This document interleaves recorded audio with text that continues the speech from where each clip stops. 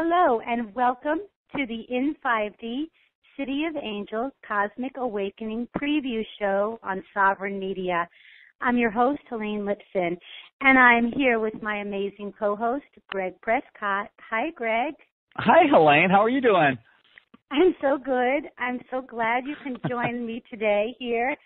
Um, it's really exciting.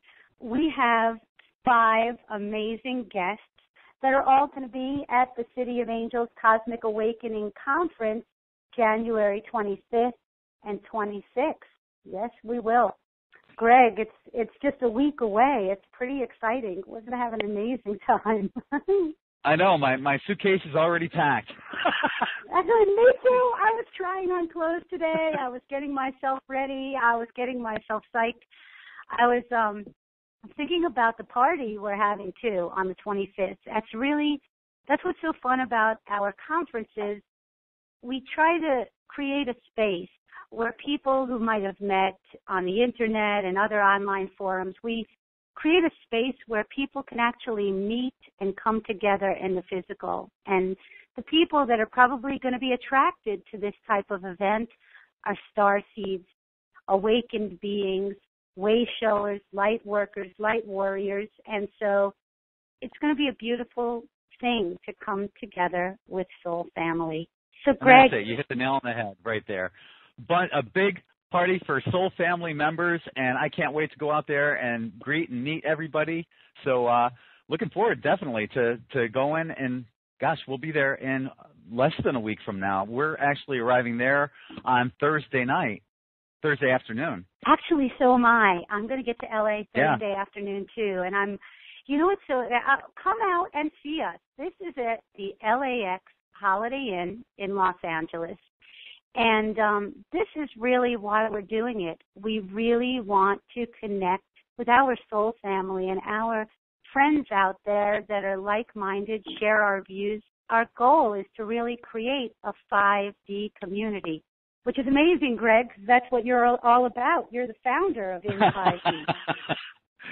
yeah, and that's what I do. You know, that's one of my main goals on In5D is to bring together like-minded souls, star family members, and uh, soul groups, soul families, and that's what we're doing at these events. We had an amazing conference out there, well, out here in Sarasota for the uh, Return to Atlantis conference this past October, and looking forward to a, a kick-ass conference coming up in Los Angeles. I know, and the thing that's the thing about this one is they all are really just also a spiritual event. You know, one of our guests today is Dr. Dream, Mark Dr. Dream Peebler, and he's leading this huge ley line galactivation, which is also, uh, you know, an actual multi-sensory approach using sound, using sight, uh, using visualization to help people call to them their soul family in in an interactive meditative forum and I think that is incredible. We had he did the same thing in Atlantis,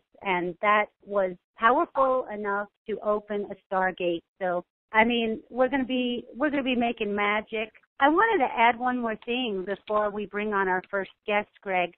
You know, for some people, I guess maybe Christmas hit them hard, or maybe they're still stuck in the program of debt and times are tough.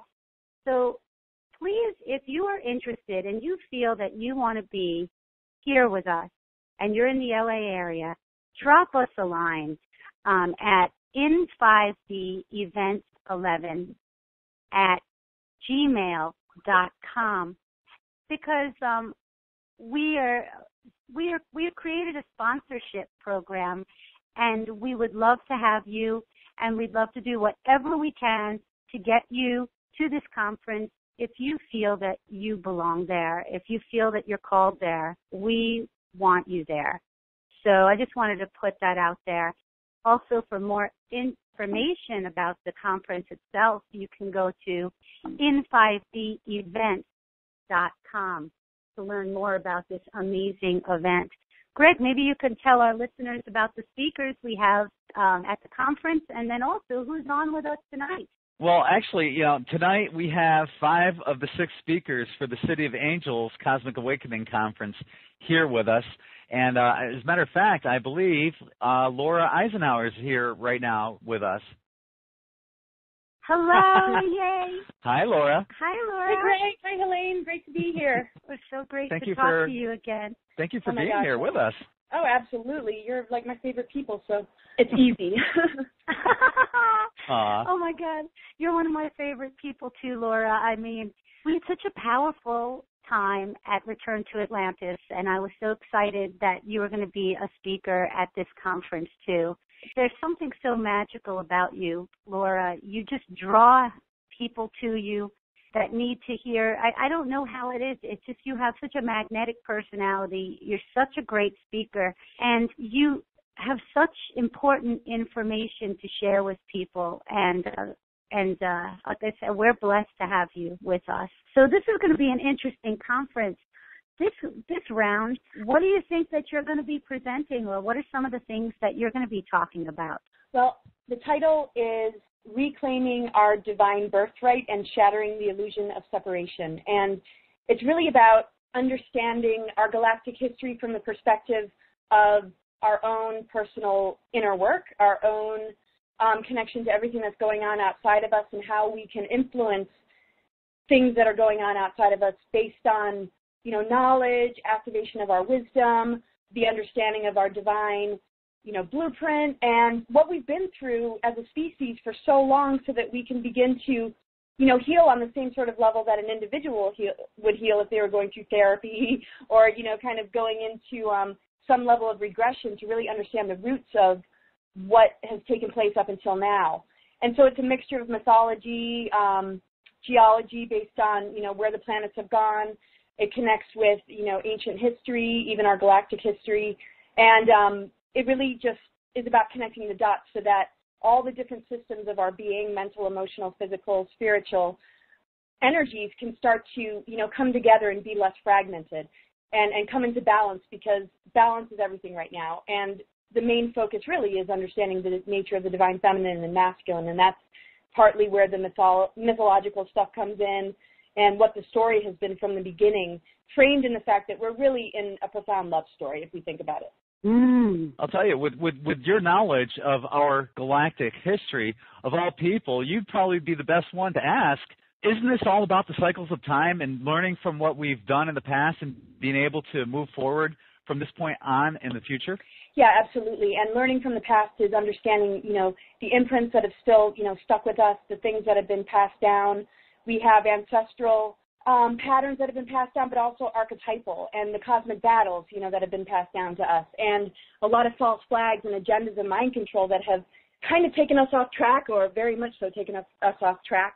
And so it's going back and understanding, you know, where we've been manipulated, but also understanding where we might have been enablers, where we may have been contracted to be a light worker or, you know, a major game changer. Because really it's about the individual getting to know themselves enough to empower what they came here to work on, whether it's dealing with karmic imbalances or rectifying something that was done in the past or activating a mission or calling that has been somewhat dormant, you know, because it's not like we're raised to remember why we chose to be here. You know, we all mm-hmm. have unique dispositions and there's a lot of diversity here right now. There's species from all over the cosmos and everybody, you know, has their unique reason why they're here. But at the same time, we're, we're coming together in unity and, and we're recognizing that oneness is diversity and harmony. And the more we can stand strong in who we are and stand true to our role, the more we can connect the dots. And I use the tool of astrology as a really great way to help us understand our galactic history.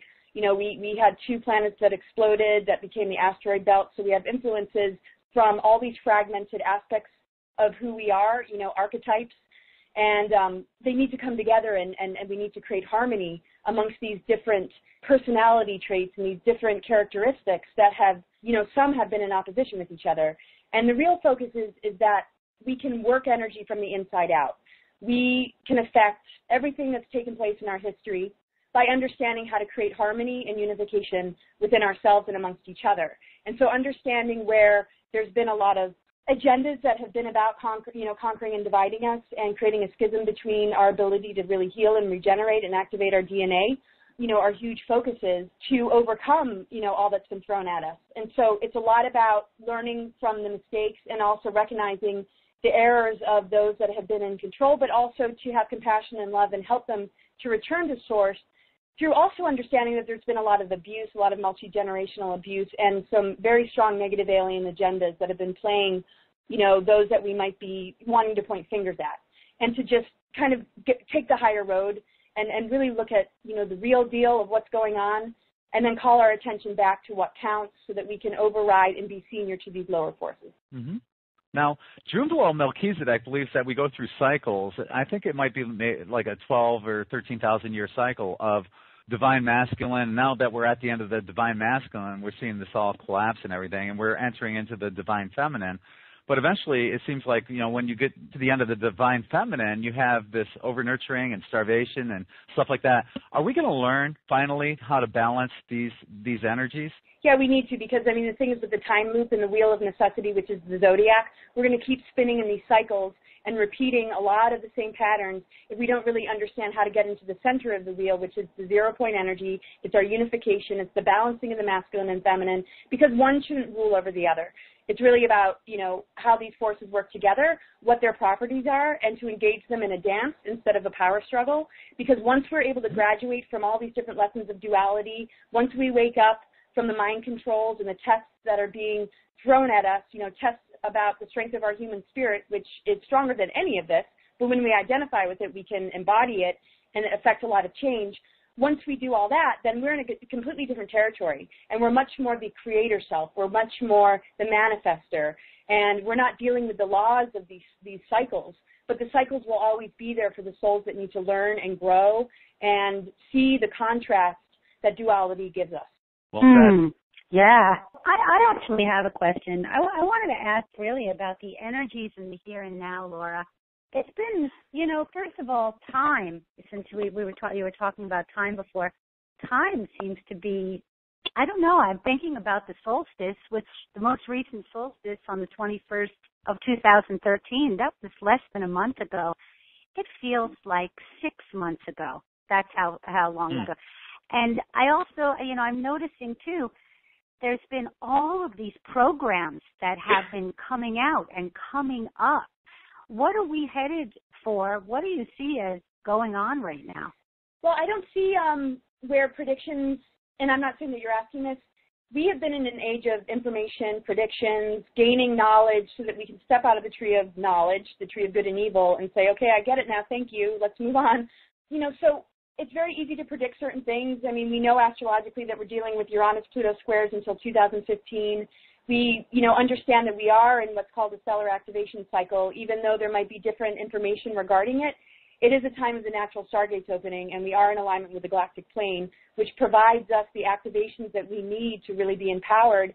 And the cosmos and the astral planets are assisting us with this. But then the dark polarity of all those forces are at play as well, and they can yank us into an artificial timeline, and those agendas are very strongly at play so is our ability to liberate. And so it's very difficult to predict anything because we're all in probably the most important phase of our free will choices.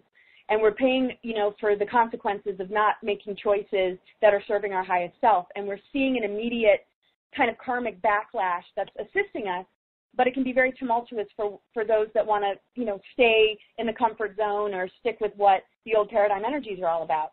And so there's going to be a lot of upheaval there's a lot, you know, of agendas connected to transhumanism and artificial intelligence, you know, that are definitely a concern. But once, you know, a person finds their inner freedom and really does what it takes to unhook from the matrix, none of those things have much of an effect. I mean, we're dealing with the physical body, but we're also, you know, not able to be modified or tampered with on a soul and spiritual level. And so it's going to take a little bit of detachment from the physical and the survival element and the fear of any kind of death to pay attention to where it is that we're going to because consciousness can still move through the gates if the physical body doesn't make it. It's important to do our best to take care of the physical body, but when we pay attention more to, well, I mean, a balance of both, raising our frequency and being fully conscious in everything that we do our words, our actions, our thoughts, our beliefs, the way we engage others, the way we conduct relationships. And we really pay attention to how to amp up our frequency based on feeling good and feeling clear and having a clear conscience and living by the laws of integrity. The physical tends to strengthen itself and it has an easier time transmuting any of the stuff getting thrown at us because it's a higher dimensional energy that we are embracing, which has different physics and laws than the third density matter. but the agenda seeks to keep us locked into the third density vibration of fear, reaction, um, you know, even addiction and just all this different stuff, which makes it very easy to absorb toxins and to get really hooked into the artificial intelligence system um, that, you know, we're very vulnerable to. But we can be empowered and I almost feel like I'm coming from the future sometimes um, because there's not any shred of doubt or fear or concern. I'm concerned always for those who suffer and are having a hard time, and that's why I do what I do. But it's like everything is really moving in the right direction. There's been a lot of hurdles and a lot of very challenging things to overcome, but the power of the human spirit is unstoppable. And as soon as people identify with that more than things like the negative ego and the anger and the blame and the shame, um, you know, the sky's the limit, really. And we're returning, you know, to the Sophia energy, the goddess energy, and on a feminine level, it's more androgynous.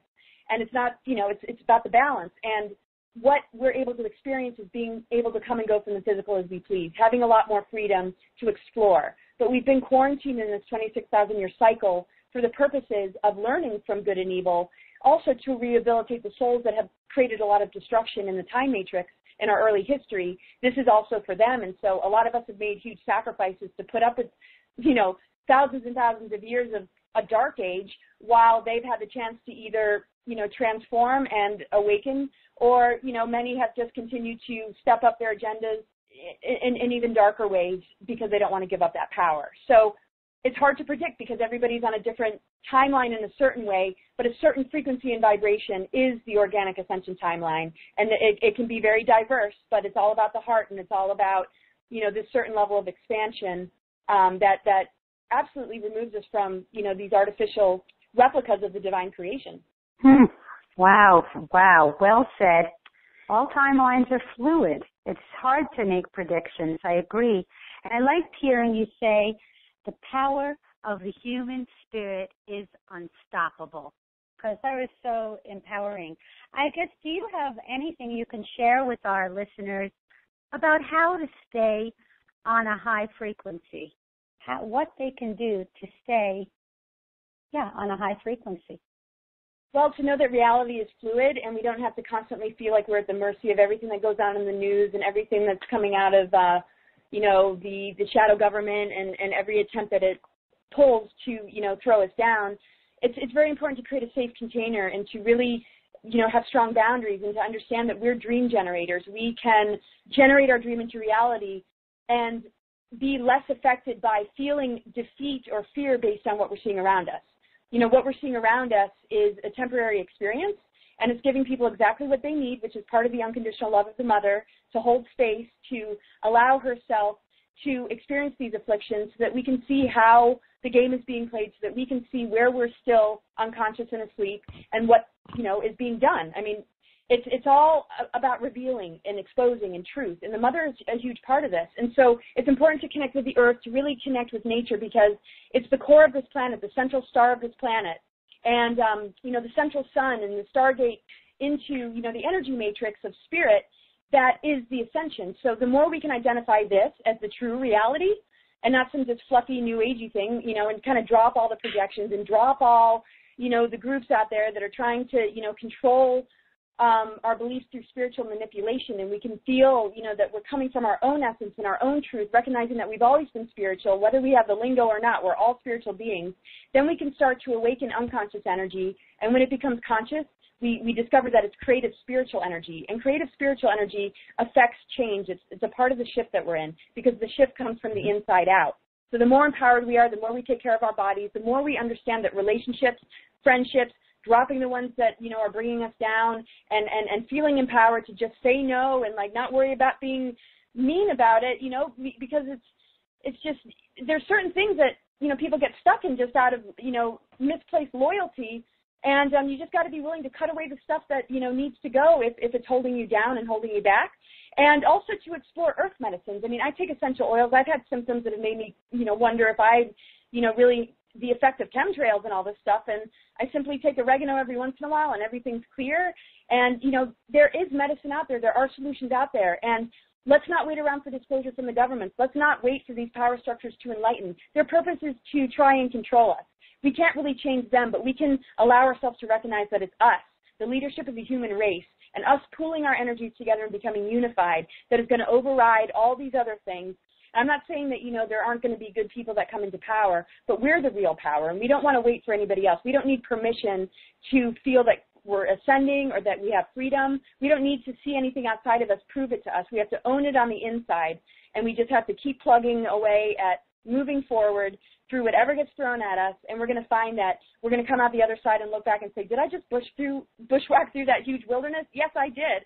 You know, maybe it's confusing and there's not a whole lot of direction sometimes, but the internal navigation system is the intuition, it's our spirituality, it's our integrity, it's our heart, and that's going to guide us. And everything else can match that vibration. We don't need to sink down to the lower vibrations anymore, and that's true leadership in this world today.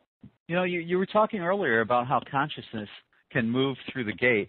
Maybe you can talk a little about our physical bodies. How important is it to eat right in preparation for our light bodies? Well, I think everybody's got a different sort of system, and it's kind of, you know, I take it on a day by day basis. Sometimes I have cravings for food I normally would never eat, and so I do it. And if it sits well, it's like great. And if it doesn't, I'm like okay.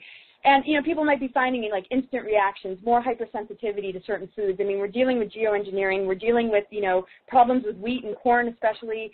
And um, it's important to do your best to not have GMO foods, of course. It's important to have clean food, clean water, organic uh, vegetables and fruits, and uh, to, to, to make that extra effort.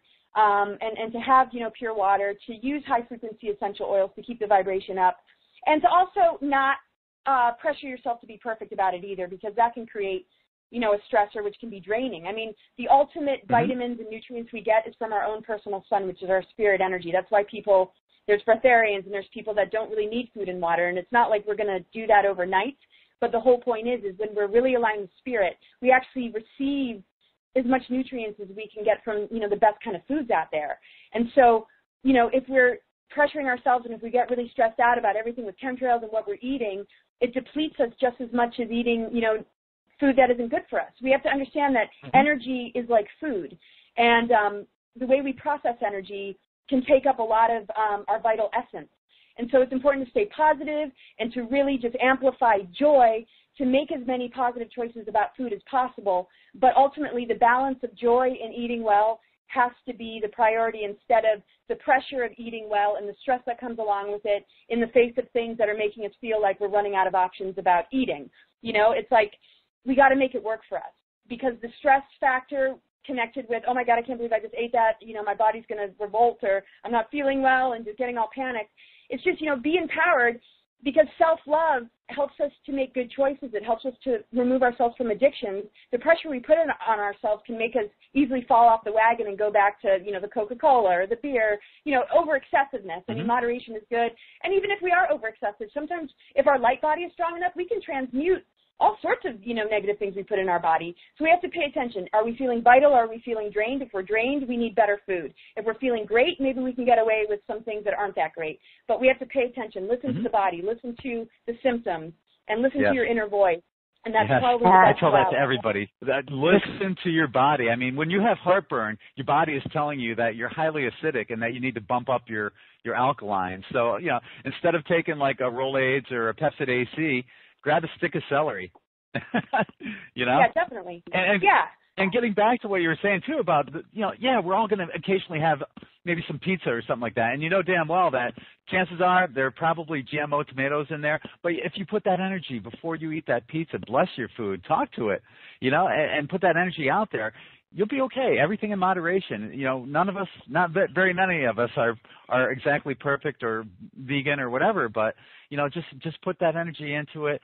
Listen, and more than ever, like like Laura said, listen to your body. Yeah, well, somewhat acclimating too. And if we cut ourselves off completely, you know, we we have to adjust a little bit to what's getting thrown at us because we're going to get exposed to it when we're on airplanes and on road trips, and we don't have the option to have good food.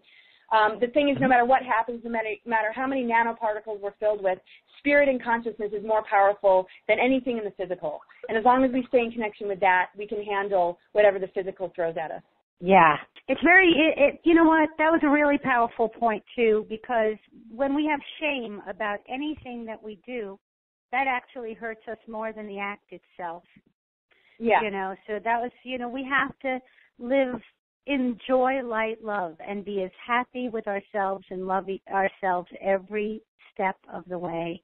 Well, I'm yes. so glad, Laura, that you could could come on today. And um, how would people get in touch with you if they want to learn more about their work? Cosmic Gaia Sophia, C O S M I C G A I A S O P H I A dot com, and I have Laura Magdalene Eisenhower on Facebook, and um, TorahofLove.com is Dr. Dream and I's website that has all our links and information about our newsletter.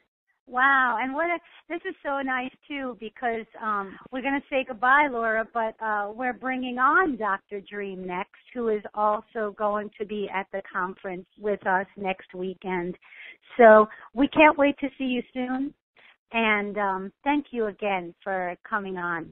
Thank you so Thanks, much for Laura. having me, and I can't wait to see you guys. Okay, bye. Bye. Bye. bye.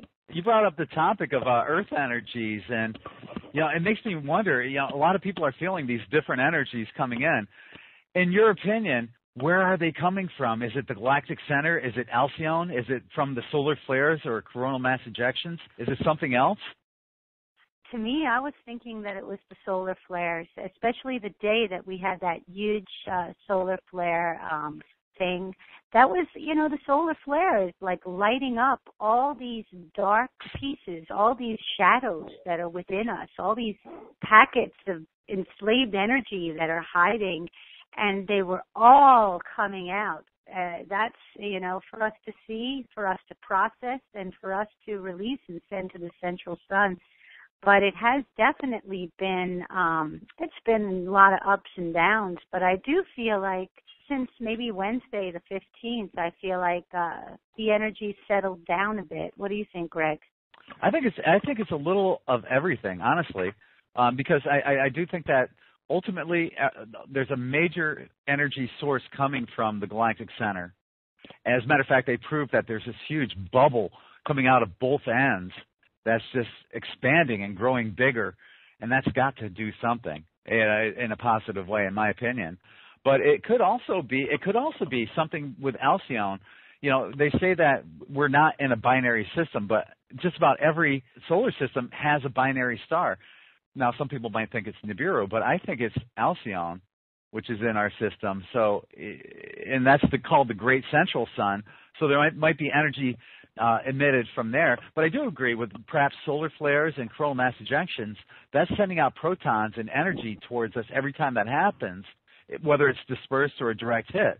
So it, it could be could well be a combination of all of them. I don't know, but I know this. Our next guest is waiting in the wings to say hello.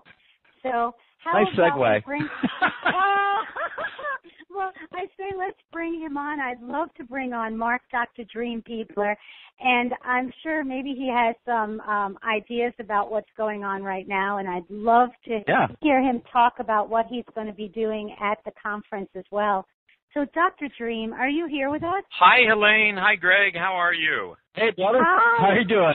I'm doing great. I'm so happy to be here it is uh i mean we're we're on the countdown seven days sixteen hours twenty nine minutes and five four three it's awesome Love it. I know. Love it. Oh, we're going to have a good time. And we had a great time at the Return to Atlantis conference. I have to tell you, Dr. Dream, you are so fun. And uh, I just remember swimming in the ocean with you and running around in the ocean. Or I do. I mean, I remember even our ride up to Ventura. You're just generally so much fun, and I'm just really looking forward to the galactivation that um, you're going to be doing at this conference. I know the one in Atlantis was amazing too. What is what Yeah. is this galactivation going to be like?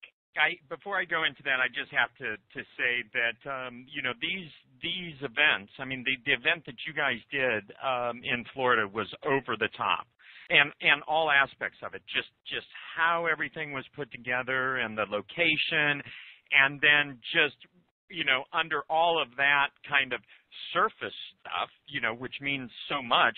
Then there's like that big energetic, and it's just like oh my gosh. So here we are preparing for uh, for next week, and so much excitement. Um, this is for the galactivation experience. Um, this is the year of the rose frequency, and I, I laugh when I say that because it may, it may very well be the decade or the century of the rose frequency. But Mhm. let's just start out with this year.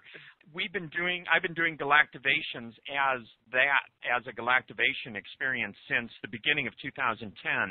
I believe this uh, weekend at City of Angels Cosmic Cosmic Awakening is going to be our 187th in 105 cities around the world in the last uh, it's about 48 months. And so it's been incredibly powerful and we just introduced um, it, has been the a uh, titled a universal love galactivation and now it's um, a new galactivation experience the rose frequency. And the reason that um, i'm so drawn to the rose frequency is my extensive work with essential oils, knowing that the frequency of pure rose otto essential oil is one of the highest frequencies that have been tested um, by a particular device uh, back in the 80s by uh, John Hopkins University.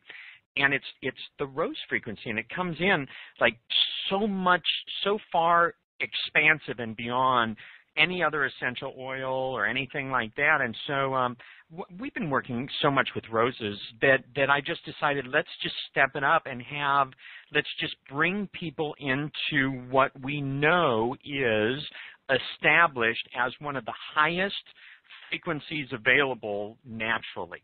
So the experience in Los Angeles, and I'm thrilled to be doing this in Los Angeles. This is our backyard, and because of your energies and everything that that that you two are about and your emphasis on you know really creating community i mean you know it it's going to have undertones of of bringing that 5d community together and so it's it's about um attracting these energies and what it means to be you know at that at that peak level for us right now. And uh, it will be, you know, it's a if you haven't experienced the galactivation, it's a multiple modality journey into universal love, into a higher frequency.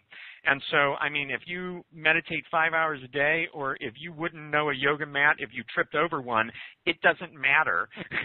Wherever you are in your personal development evolution, the galactivation is there to allow you the opportunity to to step it up a level or several levels. And I say the opportunity because it's just like life it's there. The opportunity's there. Now it's up to you. You know, I can't take the opportunity for a person and move them into that energy, but um, we so beautifully and readily and lovingly offer up the opportunity for people to step into this. You know, it's funny. I, I, I'm seeing the symbolism right now. You're talking that this is the year of the rose, and the rose is so symbolic of today's times, where you have the thorn, which could be represented as the powers that were, along with the beauty of the rose, which is where we're heading. The rose is about to bloom. Mm. Yeah, there is. I mean, there, there. I take pictures every single day. Uh, just about. I was in Seattle this week, and I didn't get any rose pictures, but this morning I posted three pictures um, of of roses that I take um, on my gratitude walk with my dog Jake each morning. And each rose to me, as I take the photo, tells me a story. And I refer to it as the rose metaphor. And so um, recently, and I, I just love Gregg, that you brought this up. Um, recently, I took a picture of a really, really beautiful rose, and the the core of the rose, the center of the rose, was spiraling in on itself, but in the shape of a heart. And oh, wow. and what what I realized when I captured the photo, because I do a lot of close-up work, is in in a past life, you know, in this lifetime, I was a professional photographer. So, but this is all just with my Android phone. Um, I noticed when I got back uh, to the office and was ready to post it that there were some really dominant, big, solid-looking thorns at the edge of the photo next to this very soft, beautiful rose. Now, what mm-hmm. I what I got from that that day was that the once we get past the protective thorns, were allowed into the swirling core of love.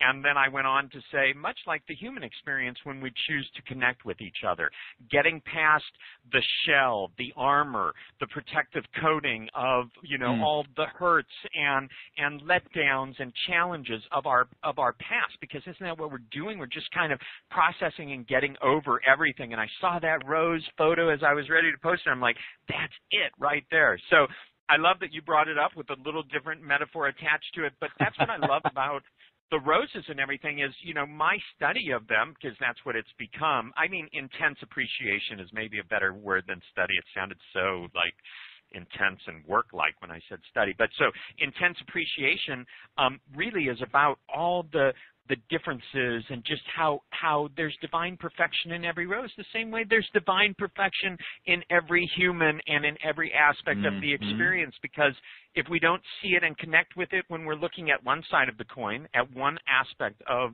the experience we just have to flip it over and look at the other side there's always at least two sides of a perspective and one one of them is going to make you feel better Gosh, this is such an intense conversation. It's actually brilliant, and I love I love your work with the rose frequencies, and I remember um, having a session a while ago. Oh gosh, this was quite some time ago, maybe uh, over a year. Time time really flies, I guess.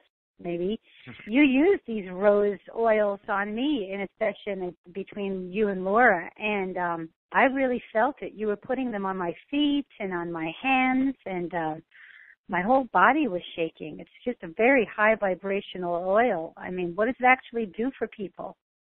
Well, for me, well, I mean, I don't know. It was amazing. The the rose is um the, all right. So here's how it works. oils fall into different frequencies. We've we've spoken about that, and essential oils start at about 50 megahertz in frequency and go up to rose oil, which is around the 320. Um, the essential oils that are in the higher frequency work on the emotional body. And the, the essential oils that are in the lower frequency, I'll give you an example. Um, peppermint oil, I use all the time. Um, peppermint oil comes in at 75 on the scale, which is considered a lower frequency. So it works on the, the physical body. So I carry a lot of my stress in my gut. And so all I have to do is breathe that rose or um, the peppermint oil in, and it immediately relaxes that stress center for me. That's a physical um, response. When I work with the uh, rose oil, it's it's you you feel it. It's an emotional response. I've had people on the table as soon as they come into contact with it start crying. It can create a release. I have a, just a quick little story. I, I we introduced the rose frequency galactivation at um, the Star Knowledge Conference on 11/11 in Palm Springs, and I'd been working with the rose hydrosol and the rose otto oil for a few days prior to my presentation. And I got up to do my presentation on how to hold a high frequency and everything. And the very first picture, you've seen the picture. It's it's uh, Laura and myself and the boys and Maya and Jake and myself, and you know, so the whole family. I look at it. I, I always lead my presentation with this. I look at it at this conference I start crying.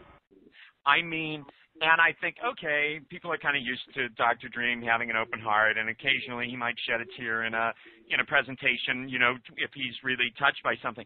I couldn't stop. I couldn't continue talking, and I had to stand there with with tears running down my face and explaining that I think I overdid it on the rose oil, and then I've been around a lot of rose oil, and I love this picture, but I never have had such an emotional response and I moved through it. And just to let you know how the whole thing ended, the the, pres- the presentation was great.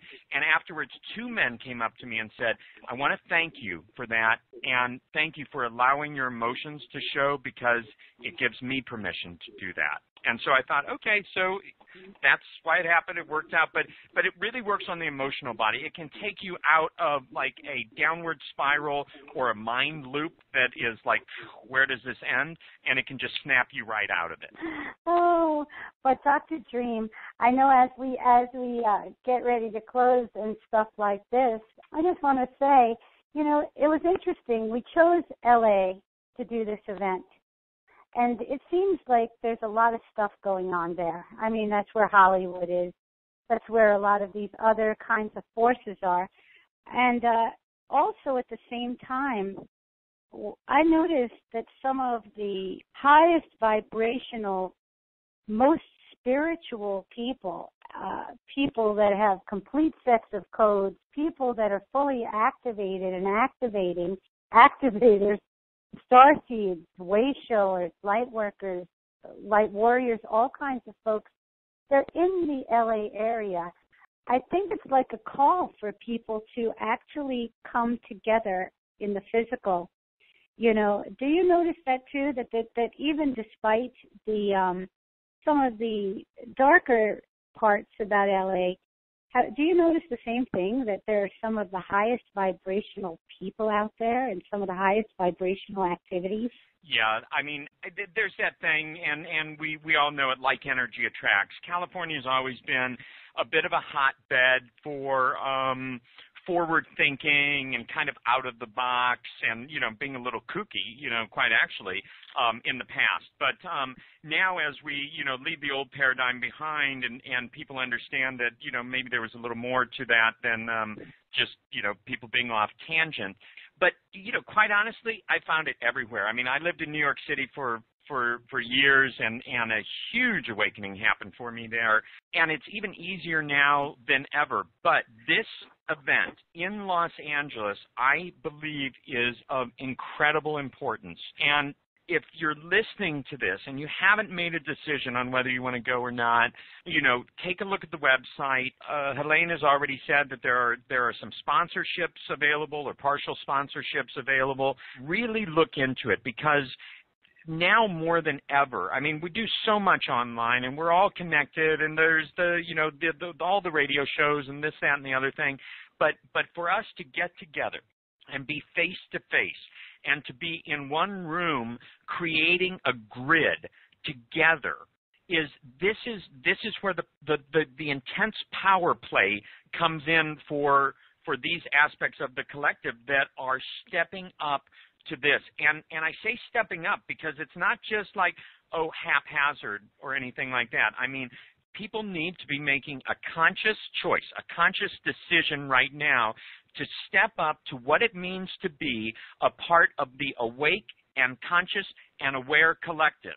And if you're part of that, I'm going to see you in Los Angeles at the City of Angels Cosmic Awakening Conference. And if I don't see you there, I'm going to know that you've got 10 people at your house in Kansas City or Omaha or or New York City for the live stream and you're sharing this and bringing your community together. This is the time and this is why we're doing these events. And so I'm just putting it out there. If you're feeling drawn, if these words are touching you below the surface, you need to be there and step into this. And from what I understand, every opportunity is being given to um, to people that want to be there um, to to make it happen. And and I honor you both so much. It is, I know that it is not easy putting events on. And, uh, you know, I'll, I'll be quite honest, we just had to um, cancel an event that, that we were planning in Joshua Tree for March. We may be planning it later in the year, but it's, it's not easy. It takes a lot of work, a lot of effort, and a lot of times it's a bit on the, um, the thankless side. So from, from me, um, and I think I speak for all the other speakers and, and the people that are, are being drawn to this. We thank you so much for doing this, and um, you know you really are making a difference. And thanks for including all of us. Oh, we so love you so much, Dr. Dream, and I cannot wait to see you. I can't wait to see you in a week. That's when it's. I know it's just one. It is. It's right around the corner. It's seven short days. We all get to be together um, I'm I'm just I'm I'm really thrilled about it. And um, you know, by the way, it was 84 degrees in Ventura today, so I know there's last minute great airfares from all over the East Coast where it's much colder. Oh yeah, it's a nice time oh, to be yeah. in Los Angeles. First of all, I'm freezing, and I live in Florida. I am freezing, mm-hmm. and I'm wearing a sweatshirt and a sweater and socks and sweatpants today it's something like six it is 63 degrees and that was at the middle of the day. So oh my goodness. Helane you're getting no sympathy from the people up in new york and minnesota and wisconsin. Oh i know. I was like 63 oh my gosh. Helane break out the down coat oh, still, so i just i want to i want to put one more thing out there. Um as we do at at all the conferences um, Laura and I are offering uh, Dream Team sessions, and people can go to dreamteamsessions.com. uh, for more information and touroflove.com for what we're doing, and it links to our sites and our radio show. We're now up to three radio shows a week, uh, Monday through Wednesday at 6 o'clock Pacific time, and you can find that at awakeinthedreamradio.com. Beautiful. Awesome. So, Dr. Dream, thank you again, and we'll see you there. Thank now, you. Again, Love you guys, and have fun with some of my more favorite people that you're going to have on in the next little yes, bit. we've got some great guests. I just want to tell before we, we we bring Barbara Lamb on, our next guest, I want to invite our listeners to take a look at our website, in5devents.com. Um, or if you'd like to be sponsored for a ticket, write me and Gregg at in5d, I-N, number 5, letter D, events 11 at gmail.com. Yes, yes, yes. So we're getting ready to bring on our next guest, and that is Barbara Lamb. And Barbara Lamb is uh, a ufologist and a crop circle expert, and she recently uh, got the Lifetime Achievement Award as well. So I am so excited to bring her on. Barbara, are you there? I am here, yes. Oh, yay! Hi, Barbara. I'm, I'm glad you can hear me. I was just happily listening to Dr. Dream. Anyway, hello to all of you, and we really are looking forward to this wonderful event next oh. weekend, the City of Angels Cosmic Awakening Conference. It's just great. And I'm going to be speaking on um, extraterrestrials, uh, positive, benevolent, loving, and spiritual extraterrestrials. And this comes from my 23 years of work, um, therapeutic and regression work with, well, at least 1,000 individuals now who've had extraterrestrial encounters. And in the regression work, we go back to an event that they want to know more about because people usually don't consciously remember too much about these experiences, usually just the beginning or the end. But in the regression, it's wonderful because the person is actually reliving that event moment by moment by moment so that they end up knowing what happened and there are usually a number of different features that happen, a tremendous variety of, of features from person to person, and then they can work with it. They can assimilate it. They can relate to it in their conscious life. And that is very therapeutically helpful. So not only is that really helpful to the person, which is the main point of my doing this, but what we learn from this about these other beings is absolutely fascinating. And I have concluded now, after 23 years of doing so much of this work in my therapy practice, that there are quite a number of beings, the ones that I have encountered or helped other people to encounter. I'd say there are at least 40 different types, maybe more, of these extraterrestrial beings that come to Earth and have visits for an hour or two um, with certain individuals. Uh, so one person uh, can have a whole variety of experiences. On some occasions, maybe the encounter, or some people call it an abduction, or some people call it a contact. Nevertheless, whatever the event is, sometimes people experience that in a more negative way. It it may be frightening uh, until they really learn more about it. And then on other occasions, it might seem like there's a whole educational component, and they feel rather positive and sort of neutral about that sort of event. And then many of these people have extremely positive, inspiring events with some of these beings. and they feel often like they're taken beyond the veil. That is the way some people express it into highly spiritual, glorious experiences. And so often these people express feeling unconditional love by those kinds of beings. And yet they've been taken from their home or their car or wherever the experience started. So they may worry at first, like, oh, what's going to happen?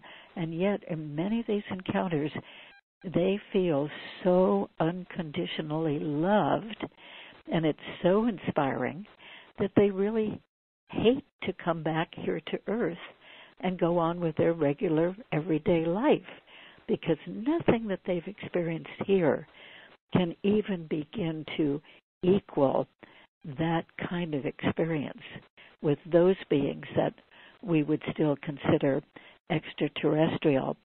So, in my talk, I'm going to, which is Sunday, uh, the 26th, uh, Sunday at 10:30 in the morning till noon. I'm going to be showing a lot of illustrations of these beings, and these are illustrations that, for the most part, have been rendered uh, by a forensic artist who takes a description from one of these experiencers and gets a very detailed description and keeps drawing it or painting it until the experiencer says, Yes, that's exactly what that being looked like. So we're very fortunate to have uh, people who can do that kind of artistic rendering. And then also, I have three photographs which I will show that I think truly, honestly, are genuine photos of real extraterrestrial beings. So oh, wow. it's going to be really interesting. And I have uh, beautiful artist renditions of some of the highly spiritual, inspiring beings that many people encountering, encounter, including myself. So um, it's it's a varied program, and it really gives a wide swatch and quite a bit of understanding, I think, about the whole extraterrestrial phenomenon.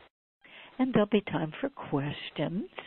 And as Helane mentioned, I'm also a long term crop circle researcher, also since 1991, um, going to England every summer to personally visit, experience, investigate as many crop circles as I can when I'm over there for a month each summer. And I this lecture is not going to be really focused particularly on that, but I'd be very happy to make uh, some comments about how these wonderful beings, which we consider out in space or frequently in another dimension, uh, how they seem to be involved in the making of these crop circles. It seems to be one of the major ways that they're trying to communicate with humanity in a very positive way, a way that doesn't ever harm anybody or scare anybody. And it's it's a phenomenon that is there to see. It remains for two or three or four months every year, uh, a different set of crop circles every summer. And people can go from all over the world and visit these wonderful formations and experience the energies in them, the increase of energies, and very often uh, feel very inspired. Um, you find person after person sitting down in a crop circle and lying down often and meditating. Uh, some of us have out of body experiences uh, when we're in a crop circle, when we settle down and really relax. And uh, some people get channeled messages while sitting in a crop circle. And and then there's the investigative part about it too, really going around and looking at the laid down plants, looking for certain features like smooth bends where the stalks have been bent over just above ground level, um, or expanded, what we call swollen growth nodes and dwarf seed heads, uh, just to name a few of the biophysical changes that can happen in these plants. And so we do sort of a, a visual scientific exploration, and then we allow ourselves to have our own personal experience. So I, having been in, oh, at least 11 or 1200 crop circles over these years, I very often, in some of them anyway, feel a real sense of presence, that there is some benevolent intelligence. And it seems like looking down at me and beaming, beaming with pleasure that here is a person or anybody else in the crop circle who is honoring this, is interested in this, is being affected by these crop circles in a very positive way. So I will relate that to some extent in my lecture to the benevolent extraterrestrial beings. And I think it's really important to bring out this aspect of the extraterrestrial phenomenon, uh, not only for the sake of itself, it's true, it's wonderful to know about, but also because um, there's been so much negative publicity, I call it booga booga, about the negative aliens, uh, the bad ones, as some people describe them.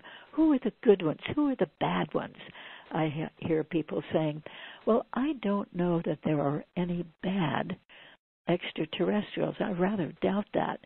But for sure, there are some extraterrestrial beings whom people really do not like to have encounters with. They seem more robotic or more um, stiff, more unemotional, more unexpressive, more uncaring, some of them. And they do medical examinations and uh, take physical samples of this and that from people in many cases, not all. Uh, they also do reproductive programs, creating hybrid beings, and there's a very positive aspect to that whole program that I really like to bring out with great high honoring. Um, but then some of those very same people who experience that sort of thing on some occasions, that they, on other occasions, or the second half of that occasion, they are taken in with some beings who are so enlightened and loving and caring and spiritually oriented um, that the whole experience turns out to be extremely uplifting and positive for them. So I like to get past the judgment about extraterrestrial beings, about aliens, as they're so often called, unfortunately, in our media and, and our movies and some of the television presentations really go for the fear they go for the negativity. And let's face it, that's what sells a lot here on planet Earth with humanity. Not to me, but it does to many people, obviously. So I think it's only fair to bring out the other aspect of this whole phenomenon, which is so positive, so inspiring, so loving, and gives us the type of experiences that we're honored to have, we're delighted to have. So it's my privilege, definitely, I, I just love it, um, to be given the opportunity to speak about these things. I have no doubt about the reality of these encounters, and I think it's really healthy and good the more that this sort of thing can come out into people's awareness. So, do you have any questions at this point? I'm loaded um, with them. Actually, a, a quick comment. You were talking about the experiencer's feeling of unconditional love, and I've heard the same thing about people that have had near death experiences. I remember seeing this one woman who was married, had children on this side. She has this near death experience, crosses over to the other side, and there was so much unconditional love there that she didn't want to come back to her husband and children, and she loved them dearly. Oh, yes, so, absolutely. You're right. I've heard yeah. that many times testimonies and it's it's the same sort of thing. You see there are other forms of life in this dimension that we live in um, 5d dimension as uh, helen uh, helane is so aware of and um, and many other dimensions too. So i think when people leave the physical body in a near death experience you know they have that opportunity to be with those glowing, enlightened, wonderful beings. And a lovely thing is that you don't even have to die temporarily to do that, um, to be in touch with these very loving beings. Um, you can just do that by having an extraterrestrial encounter. Now, this raises the question can we ask for and receive an extraterrestrial encounter if we're not one of those millions of people worldwide who are having these experiences anyway. And I say yes, we can. We can ask for this and receive it if, and it's a very important if, if we really, really mean it if we want to take our chances on what kind of a being would come for us or a set of beings, um, we can ask. And I think, in my experience and others I know, sooner or later, or maybe even on that occasion, um, the person will have their own visit. And sometimes, of course, that begins with a UFO sighting, and especially if the UFO sighting is a rather close one. It's not just like a little tiny dot up in the sky, although sometimes those are crafts and they come much closer.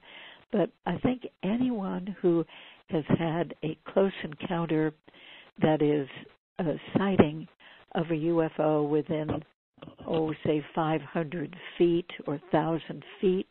That's pretty close, considering all of space. Um, that they are very likely to have already had on that occasion an extraterrestrial full on encounter, whether they remember it or not. So I've regressed many people who say, you know, I had a very close sighting. And this big light came toward me in my car and filled the car and surrounded the car. I didn't know what was happening.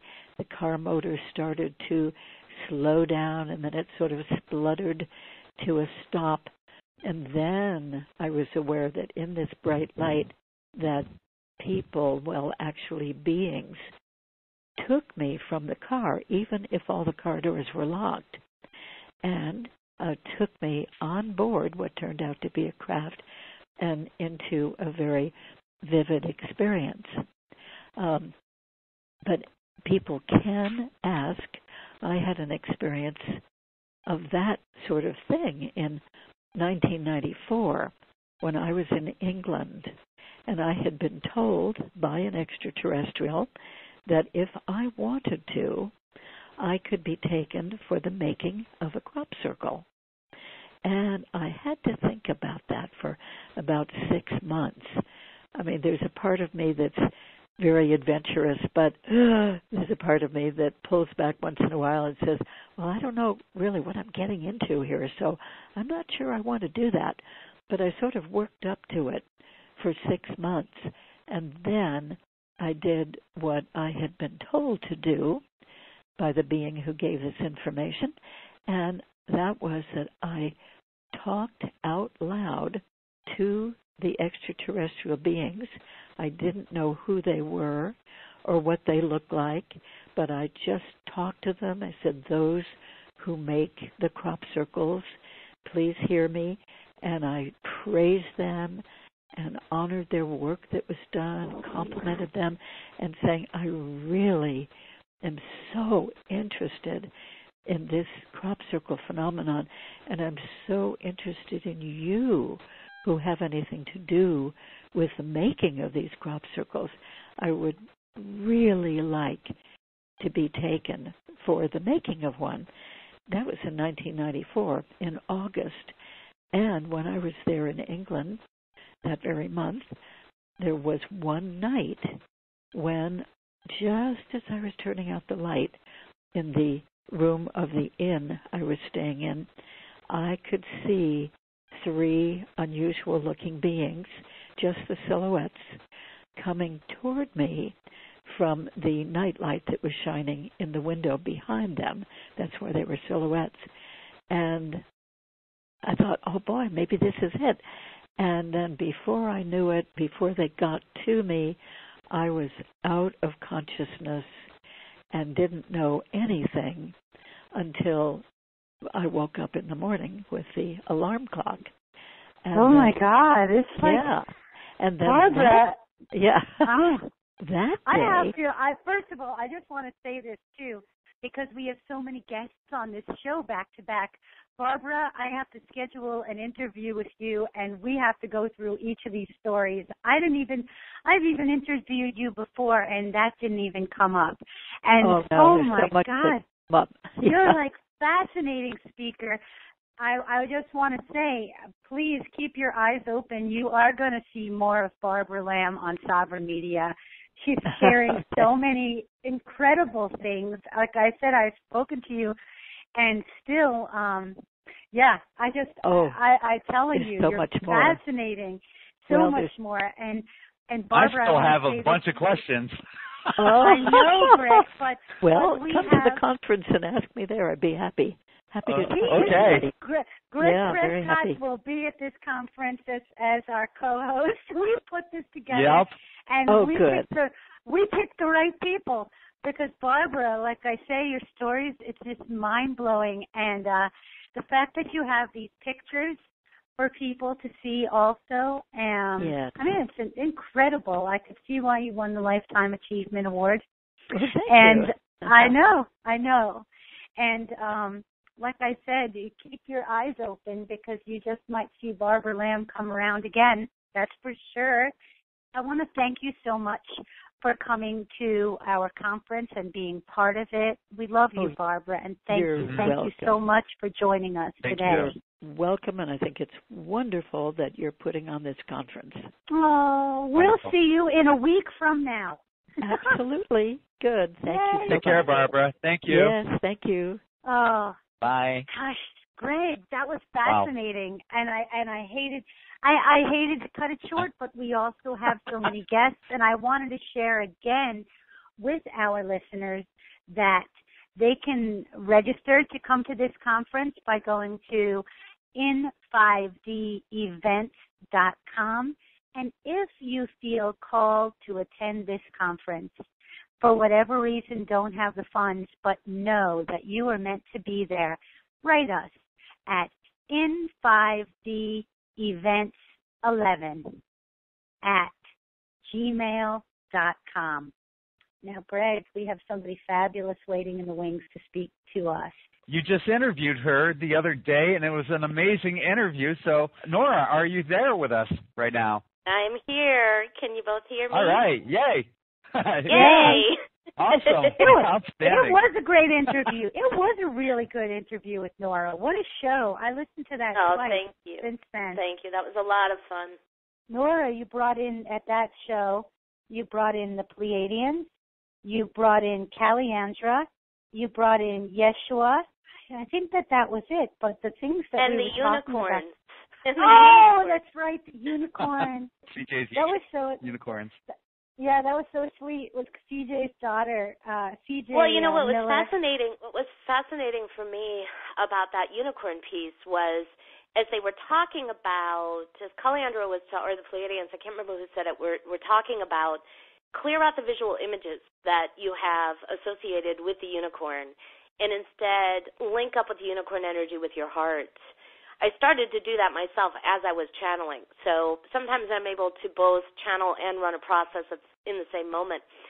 And I suddenly accessed, I guess what you'd call the vibration or the frequency of the unicorn in a way that I hadn't been able to before, in a way that I hadn't really tried to before. I, I'd never really gone out searching for the unicorns, not in that way. Um, but that that's how I work. You know, somebody will ask a question or or trigger a, a subject matter, and suddenly I find myself exploring new vibrations and new frequencies and new realms and dimensions and that's one of the reasons why I channel so many of the different beings and collectives that I do. It's to facilitate the experience of those who are asking those who are coming those who are attending. So for all of you that are planning on attending the event you know know that you'll come in with your own particular set of questions and issues and contracts, and much of that will be answered and spoken to and addressed before you open your mouths. Many of you will find you don't have to ask your questions because the beings that I work with and the beings that you're coming in with will have that information all cataloged and transmitted to me without you having to act as an as an in between there uh, by asking your questions. Let me ask you this.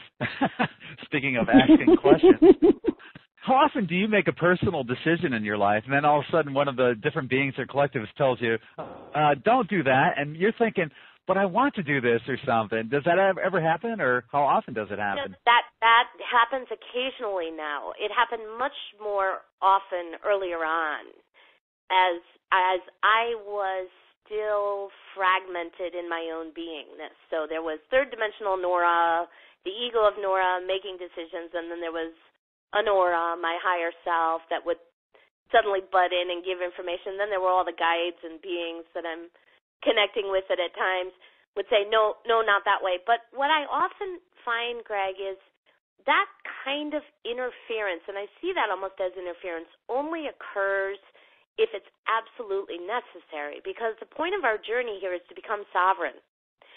So, what I learned to do over time was slow down my decision making process and consciously ask for guidance. Because it's kind of like, you know, in Star Trek, the Prime Directive, they're not going to interfere unless it is absolutely karmically necessary. They are always there to offer their assistance, unconditional love, guidance, and those messages are always coming through. But they're not going to amp their volume unless the individual earthling in the moment is about to step out of their own contracted experience. All right, so mm. what I'm mm. doing right now, what I'm, I'll just explain what I'm doing right now. So some of that was Nora speaking, but some of that was also channeled information in the moment. I was just choosing to remain as Nora and operate as a channel as, and, and operate as a translator for the Pleiadians. So I wasn't direct voice channeling as I will in the event, but I was I was being a translator there because Nora didn't actually have the answer to the question you just asked. So that was me. Mm. Can we can we maybe can you share with our audience just briefly who are the Pleiadians? This this sure. team of people working with you.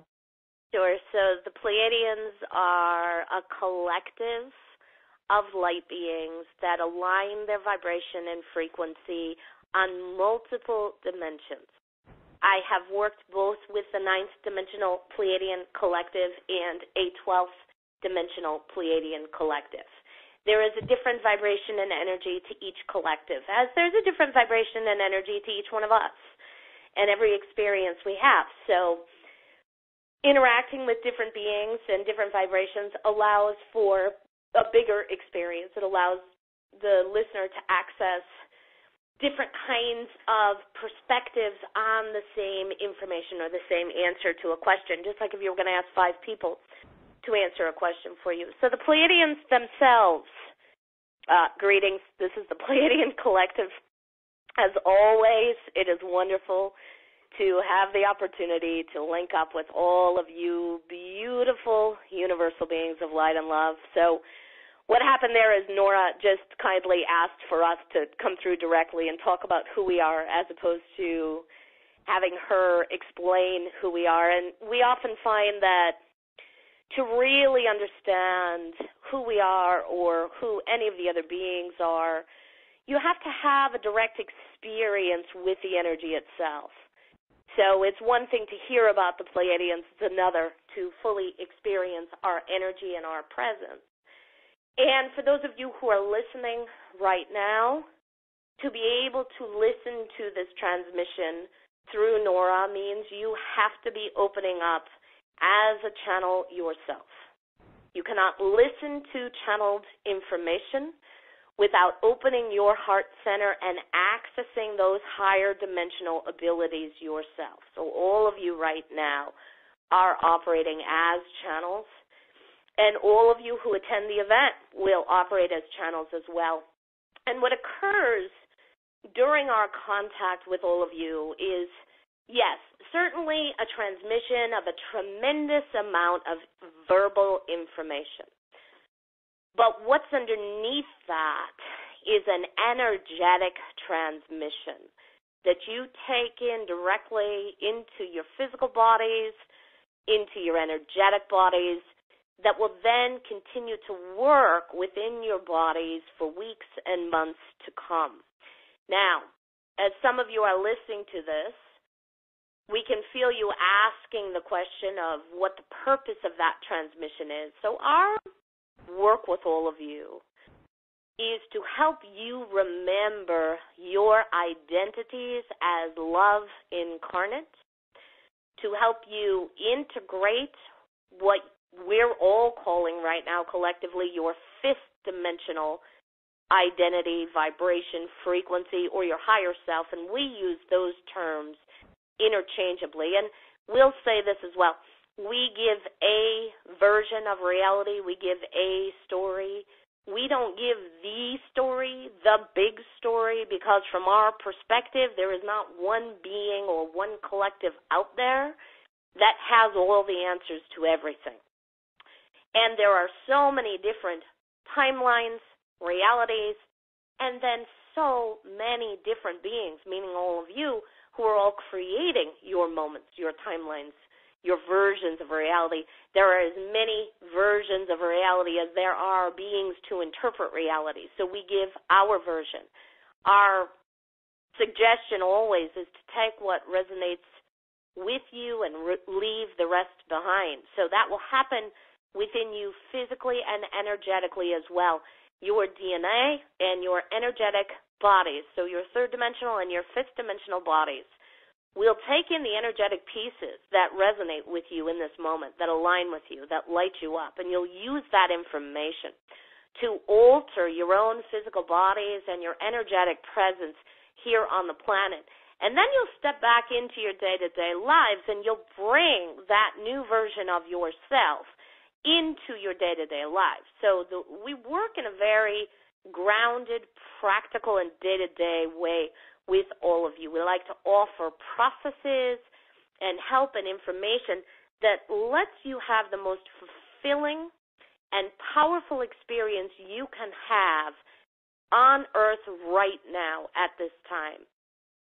The why, the because there's that question there why? Why are we working with you? Well, we are part of the collective, meaning the many, many beings, star systems, that participated in seeding life on Earth. So many of you on the planet carry genetic information from the Pleiades star system. Many of you hear that word, the Pleiades, or the Seven Sisters, as we're referred to on your planet, and that triggers something in your memory banks many of you already know that you're Pleiadian in origin, or at least partly Pleiadian in origin, because you are all a mix of many different races and species. So we are and were your architects. We are entwined with you in this way, and we are ready to advance to our next designation in this universe. So our help here that we're offering you uh, helps us as well because as you evolve, integrate, transform, shift, remember you are sovereign, you impact the universal matrix, you help to recreate this universe, and we benefit from that as well. So it is a reciprocal relationship that we're having with all of you, where as we transmit and you receive, you also transmit and we receive as well. And we do this because we are family. Wow. Now, I would like to ask Nora and then hear the channeled response. I've often wondered, and those who know me know that I ask questions that nobody else will ask. What happens when you're having intimate times with your boyfriend are the collective standing around watching, or do you have to tell them to get lost for an hour or something? OMG, Gregg. no, no, I think it's a, it's a it's a great question. I've been asked the question. I asked the question when I started channeling. I was like, "Are you in the bathroom with me?" you know, they don't perceive our reality the way we perceive it. So they don't see naked bodies. They don't see uh bodily fluids. they don't see it they see us as light and frequency and vibration. They see us from their perspective. They also don't have any judgments about our reality. You know, we're very mm-hmm. judgmental here in the third dimension as we live in this very dualistic and polarized kind of reality. Uh, this is the Pleiadian, so we'll jump in as well. So, what we hear you saying is that you have a wish for privacy, all of you. That's one of the gifts of a third dimensional experience that you get to take on the illusion that you are separate from source, separate from one another. You can close your bedroom door and do whatever you want and nobody else can know. And that's a lot of fun for all of you. But as you integrate and reascend and alter your frequencies and vibrations, you're going to have to release that need for privacy, for hiding, because in a fifth dimensional experience, you are telepathic. You are sharing information with one another all the time. And we would say that this is one of the biggest issues in your reascension process right now. So many of you are holding feelings of shame about beliefs you have, things you have done, feelings you have, things you've engaged in. So it's time for all of you to really send transmissions of unconditional love to any version of yourself that is holding shame and is wanting to isolate itself, fragment itself off from the whole being experience. And as you do that, as you send that transmission of unconditional love to the shadowy aspects of yourself, then you come into a state of wholeness. Suddenly you realize, really, truly, that you are a love incarnate, that there is no right or wrong that you are all the same. And as you do that, then you are able collectively to come together along with Earth itself in tandem. You get to work then to shift into that 5D experience in a visceral and physical way. Okay, that was a big answer to a what you know that's so funny gregg because that's sometimes the way it will happen that a question will come from that place of levity and lightheartedness and they'll just come back with really big information. Yeah, but that was a really good answer because oh, it yeah. brought attention to, you know, our 3D realities and um, our belief that maybe we're separate from everything, but we really are connected. And it's a very interesting thing as we're doing this event that we are we are working to create 5D communities and we're doing it in this event by helping people become aware of their connection with their ET families.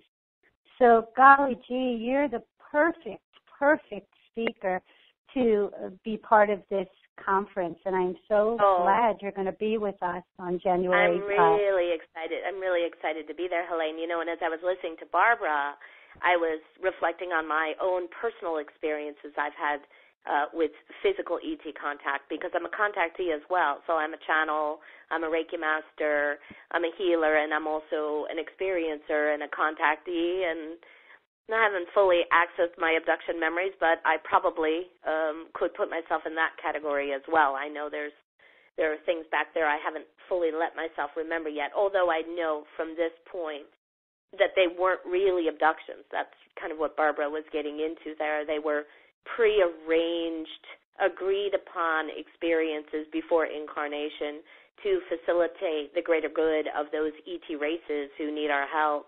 Mm. Well, Nora, I'm so glad that you were able to come on to our show tonight, the preview of the uh, City of Angels Cosmic Awakening Conference, which is taking place a week from today. I Woo-hoo! thank you so much, so so much. Woohoo! Woohoo! That was awesome. Thank you. Oh, thank you, and Thank you so for being- wonderful to connect with you as well, Gregg. I'm really looking forward to meeting you. I've met the beautiful Helane already, so I'm looking forward to getting Oh, to we had so we had a lot you. of fun. Thank you, Nora. I want to I want to just tell people for if you're interested in connecting with Nora, you can find her at noraherold.com. I want to also say that if you're interested in coming to this conference or learning more about it, some of the details of the conference, check out in5devents.com. If you're interested in coming to the conference and maybe you're short of funds or whatever the reason is, um, we are happy to sponsor you. If you feel that you belong there with us, you are so welcome. And so drop us a line at in5devents11 at gmail.com and let us know you're interested in attending, whatever the reason. And there is space for you at this conference. We love you. So I just wanted to say that too. And Gregg, before um, before we bring on our next guest, which is Darryl Anka, I want to give a shout out to our friends at Sovereign Media that are allowing us to um, to have this program. So I want to say thank you so much to Larry Bazell. I also want to say thank you so much to Kevin, our producer, that's uh, here behind the scenes making things happen. And I want to wish his girlfriend Sandy a very, very happy birthday. So with that, I think we're ready to say hello to our next guest, Darryl Anka. Darryl, are you on the line? I am. Can you hear me? I sure can. Yes. Can. Hi, guys. Hey, brother. Hi. Thank you How so are you? much for coming on. We can't wait to see you next weekend. Oh, my pleasure. I can't wait to be there. I think it'll be a lot of fun. I know it will. I know it will. Oh my goodness, Darryl. I've had a couple of interviews with you. Every time I speak to you, I'm just, uh, you know, you open my eyes to so many different concepts and new Oh. things. Well, thank you. At this at this conference, I know that you're going to be channeling Bashar. Um, Maybe you can tell us a little bit about who Bashar is. Well, as far as we can tell, he has presented himself as an extraterrestrial consciousness, and the channeling is the result of a telepathic connection between us that began many, many years ago after two actual physical broad daylight sightings of his UFO here over Los Angeles. So he is basically working to deliver information of a cosmic nature with a perspective that allows people to understand the workings of creation, how to apply the ideas, the, the laws, the conditions of existence to their daily lives to make the kind of positive, constructive changes that uh, they would prefer to. So he's good at delivering, shall we say, toolkits to people uh, to allow them to understand how to be self-empowered and to make the connections or um, remember the connections that they already have to creation. Well, Darryl, first of all, uh, thank you for being here with us, and also I, I want to thank you for popping in on In5D, the live chat at the bottom of uh, every page on in5d.com. There's a live chat, and uh, Darryl actually has popped in there on occasion. I want to thank you for doing that. Um, let me ask you this: Did you ever ask Bashar why he chose you to be the conduit instead of whoever? You know? Well, it, it didn't really, it wasn't really necessary because he had already explained that from a linear perspective, uh, I am one of his past lives, and he is one of my future Mm. lives. So, in in essence, we are the same soul in two different time frames, and therefore, it's really just an agreement that was made within that one soul to have two different lives that would deliver this information through in this way. So, what is your understanding of time with that understanding of what what you what you just explained?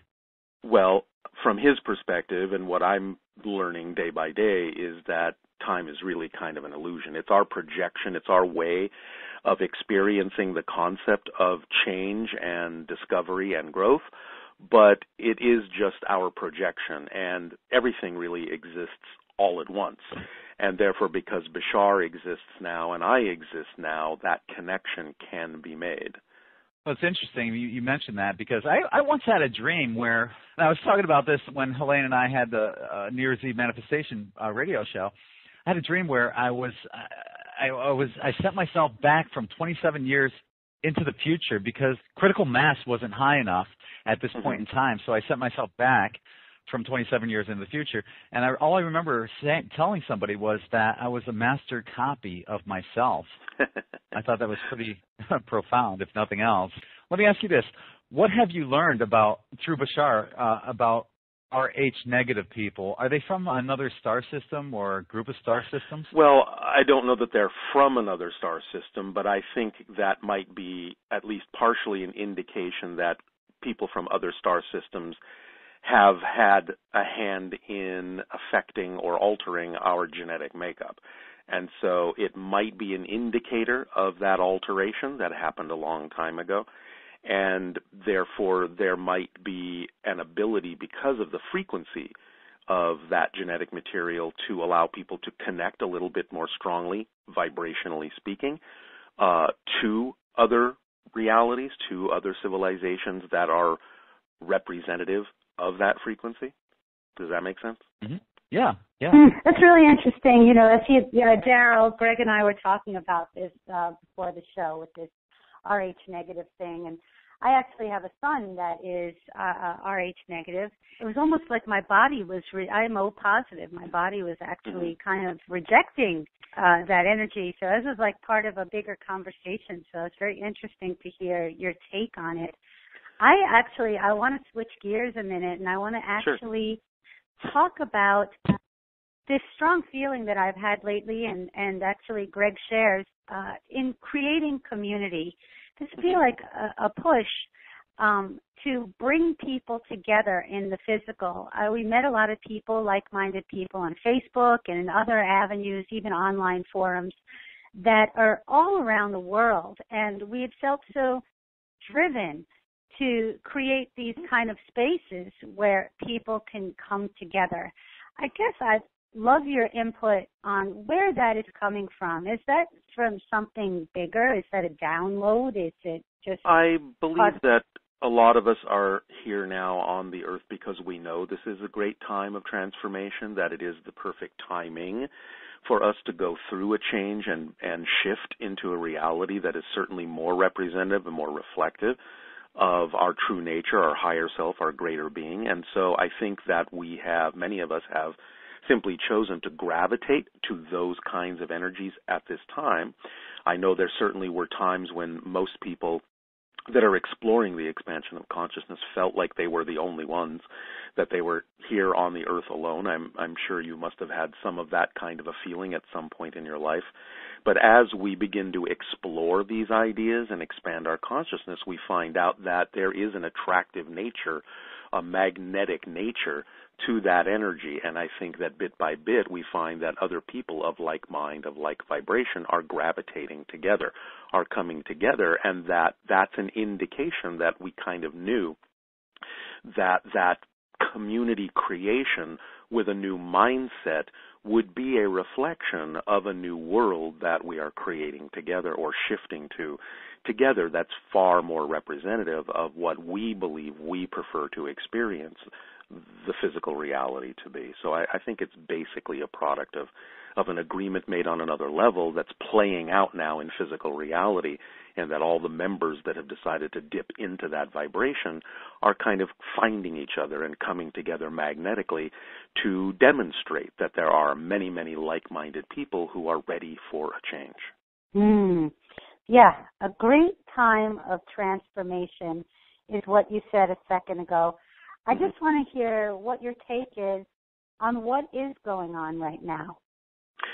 Well, you know, as Bashar has explained sometimes, the idea really is that you can't really experience discovery from a timeless dimension. You have to have the idea of forgetting who you are in a space-time reality in order to have the experience of rediscovering who you are. But when you rediscover who you are, you're doing it from a new perspective.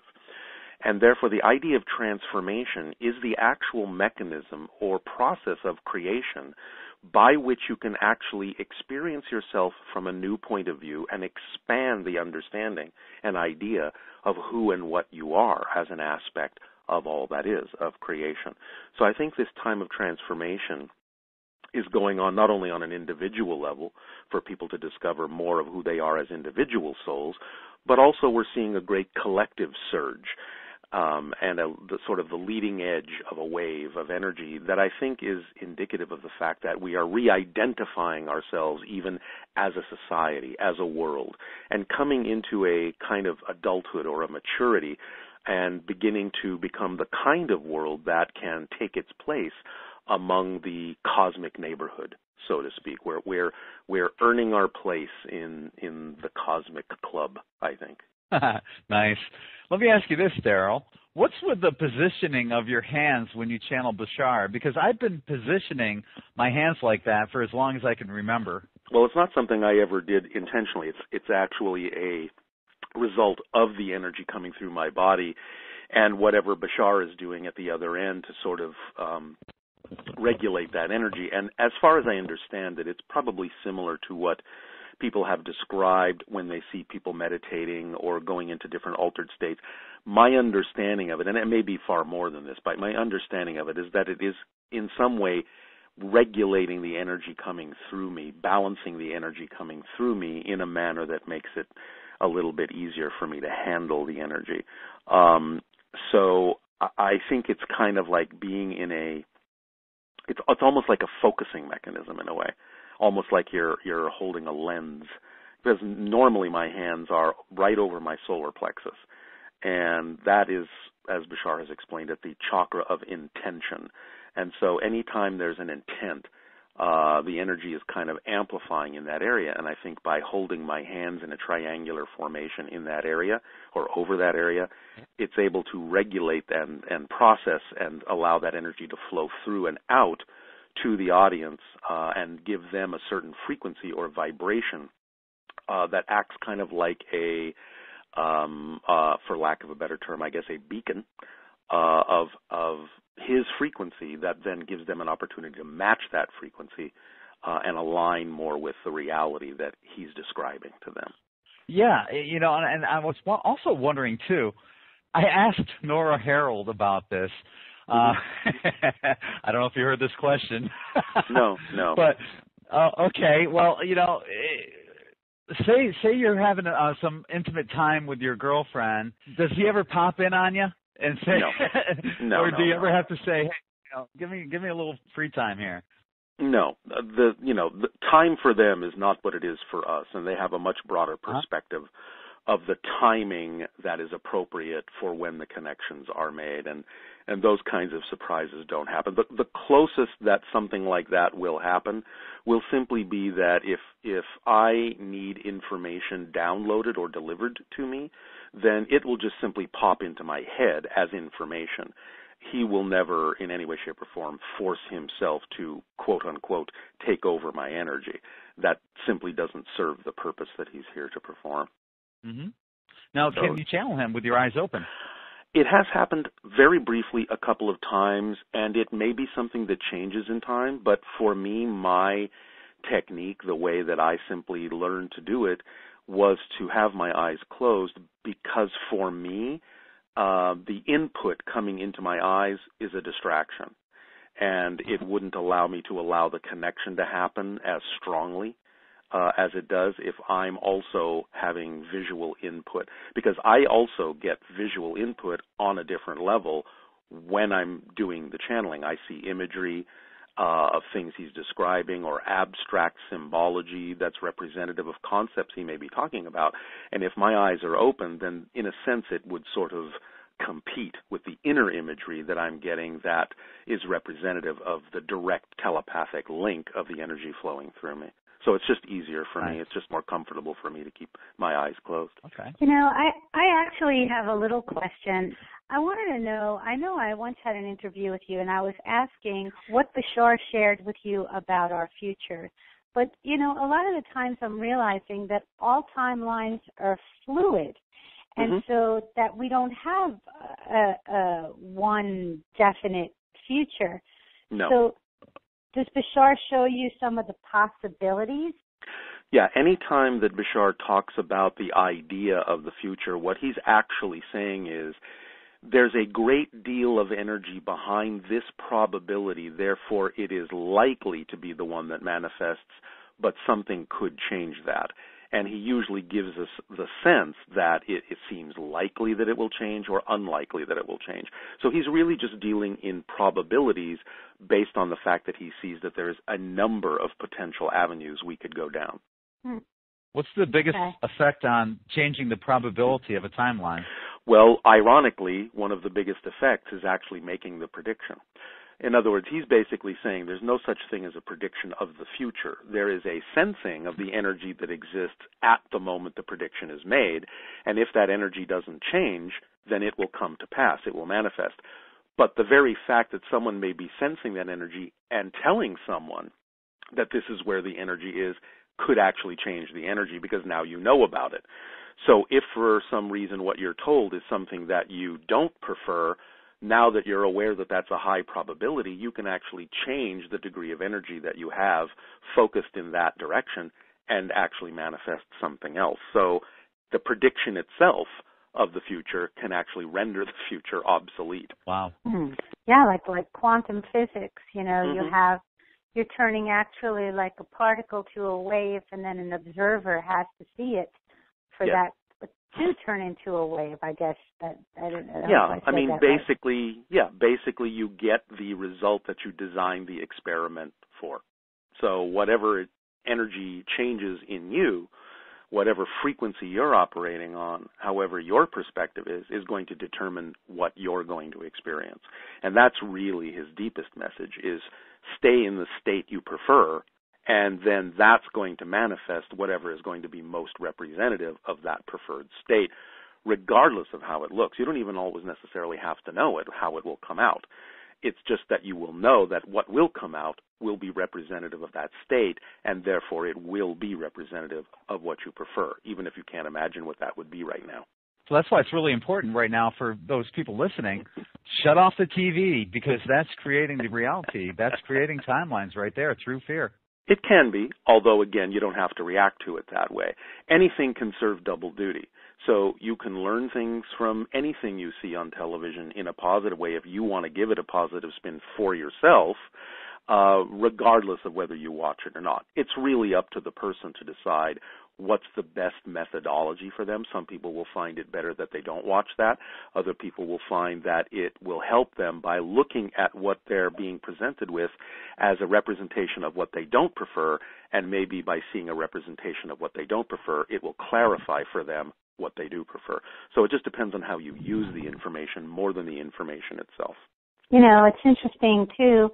I had an interview with you. I don't know, maybe my first interview with you, and 2012. Mm-hmm. Um, you said fear is your friend. yeah, because it's yeah, it's telling it's telling you that there is some belief within you that's out of alignment with your true self. See, we only have one energy, each of us.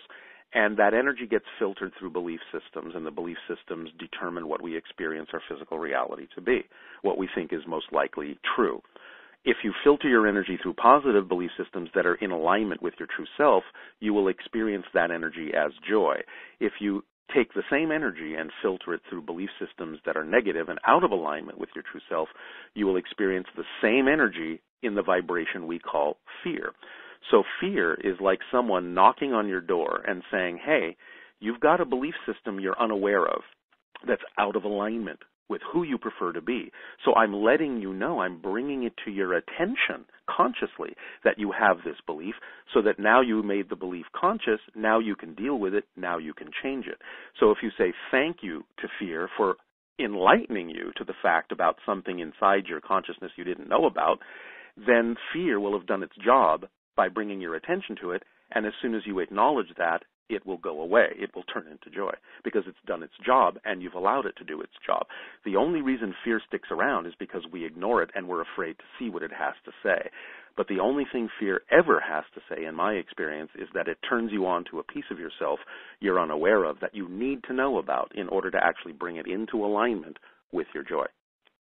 So, Darryl, like once you feel the fear, what is your method for processing this fear so that you can let it go? Well, Bashar has presented a number of methods, but the simplest one is to simply ask the question, what would I have to believe is true about myself in relation to the situation in order to experience this feeling this way? Because as he's explained it, you can't have an emotional feeling of any kind until you actually have a belief or a definition first. So the definition and the belief generates the emotion. So if you experience fear, that means that there is a belief that's out of alignment. So the question would be, what would I have to believe is true in order to have this fear? And once you ask the question, if you're willing to hear the answer, something in your life, be it an inspiration or synchronicity or some other method, will give you the answer as to what that definition is. And once it becomes conscious, you'll be able to deal with it. And any definition, any belief that is out of alignment with your true self will always, once it's identified consciously, will always be seen to be illogical and nonsensical, and you'll realize that that definition came from someone else and it has nothing to do with you. It probably came from your parents, your friends, your society, work, play, school, but you'll realize that you bought into it. And you'll realize as the moment you identify it that it makes no sense for who you prefer to be. And as soon as you realize it makes no sense, you'll drop it. Now, speaking of Bashar, can you tell the listeners a little about what you'll be talking about at the City of Angels Cosmic Awakening Conference next weekend? Well, since it is titled Cosmic Awakening, I'm sure that basically Bashar will talk a little bit about what that means from his perspective. But I think in order to help facilitate people in their personal cosmic awakening, he will probably open the majority of the two hour session to questions and answers so that people can ask him specifically what they would like to work on in their own lives, and he'll reflect to them uh, his perspectives of the best ways to go about uh, making the kind of changes that they would like to make to become more of who they are, or at least remember more of who they are, and uh, that way to, in a practical sense, take these tools that he's sharing with us and apply them in their physical reality, and thus then make it easier for them to have their own cosmic awakening. I think that's pretty much what he will do. Well, there you have it, folks. Get your questions ready for Bashar next weekend. Yeah, and you can also if you're not around um, the LA area, you can always tune in on live stream. And information about live stream is on in5devents.com. So that's awesome. That's awesome. You know, it's interesting, Darryl. You know what I noticed about some of the shows uh, that I see hmm. uh, where Bashar is channeling? That even if somebody doesn't get their questions answered, it almost seems like, or they didn't get their question directly answered, you seem to channel information that's extremely relevant to everybody in the audience. You notice yeah, how that happens? Yes, Bashar has a way of of answering a lot of questions that people are thinking about that they don't necessarily have an opportunity to actually ask him physically. So he works very holographically that way, and a lot of people find their questions get answered even just by sitting in the audience and listening to what he's saying to some other person. So, from the perspective of Bashar, like when you're actually doing the show and your eyes are closed, and Mm-hmm. different people are coming up to the mic to ask you questions. What do you see? Do you see the energy or the energy signature of each person coming Um, yeah, Bashar perceives people as patterns of energy. Uh, some of the energy relates to the idea of different moments in their lives, different ideas, different belief systems and perspectives. Some of it relates to their higher self. Some of it relates to other lives they may be connected to. Uh, it just depends on what the subject is that's being discussed. And I can see some of those patterns in my mind's eye when he's describing them or perceiving them. I will get abstract images that are sometimes representative of the concepts that he may be discussing. I'll get feelings, energies flowing through me. It's like being lost in a very energetic, very dynamic daydream. Uh, I don't always understand. I don't hear the words per se, and, and I don't understand exactly what he may be saying to someone, but I'm getting concepts downloaded into me that are passing through me in the way that I need them, even at the same time that my brain may be translating the telepathic message into language that the person talking to him needs to hear. Hmm. Interesting. I'm getting so excited. I can't wait to see you. I cannot wait to hear you do this. It's going to be such a treat.